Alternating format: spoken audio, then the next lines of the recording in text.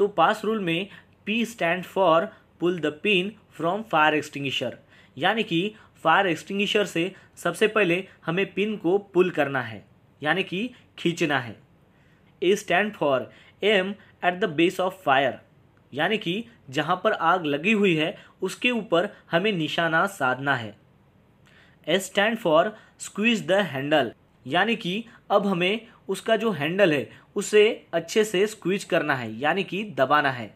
और आखिरी वाला पास का यस उसका मतलब होता है स्प्रीड झिकझाग या फिर spread from side by side इसका मतलब बाद में आपको उसको स्प्रीड करना है झिकझैग पोजीशन में, यानी कि साइड बाय साइड जहाँ पर आग लगी है। तो दोस्तों, आपको पता चल गया होगा कि पास रूल का फुल फॉर्म क्या है। तो सबसे पहले हमें क्या करना है कि फायर एक्सटिंग्विशर की जो पिन है, उसे पुल करना है, यानी कि खींचना है।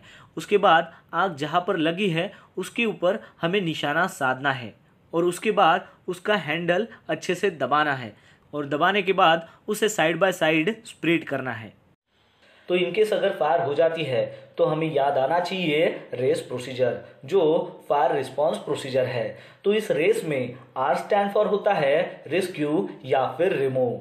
मतलब अगर किसी आग में कोई भी अगर पर्सन वहाँ पर फंसा हुआ है तो उस सिनारियो से, उस सीन से उसको इमिडिएटली हमें वहाँ से रेस्क्यू करना है या फिर रिमूव करना है। और उस पर्सन को वहाँ से रेस्क्यू हमें तभी करना है, जब पॉसिबल हो तभी करना है। यानी कि अगर आप उस पर्सन को वहाँ से रिमूव करने में या फिर रेस्क्यू करने के लिए सक्षम हो, तभी आपको उसको रेस्क्यू करना है।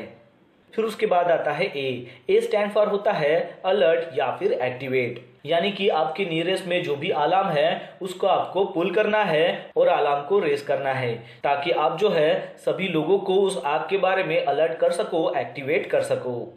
फिर उसके बाद है सी सी स्टैंड फॉर होता है कन्फाइन या फिर कंटेन तो इसमें हमें क्या करना है कि जहाँ पर भी आग लगी है, जो आग वाला एरिया है, उसके डोर को हमें क्लोज करना है। यानी कि उस आग को हमें वहीं पर ही कंटेन करना है कन्फाइन करना है। और वो भी हमें तभी करना है जब वो पॉसिबल हो, तभी करना है।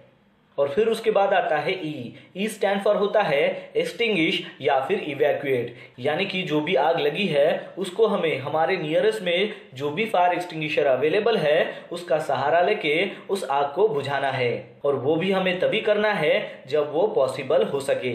यानी कि छोटी अगर आग है और वो आग बुझाने के लिए अगर आप सक्षम हो, आप वेल ट्रेन हो, तभी आपको उस आग को बुझाना है।